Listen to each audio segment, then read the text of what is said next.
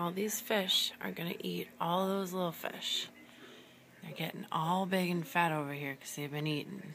Look at how fat their bellies are. And then over here, look at how fat his belly is. Oh, someone's been eating fish. it touches the bottom. It's Good Friday. You're supposed to eat fish. Look at how fat they are, full of fish. God. Eating all these little guys.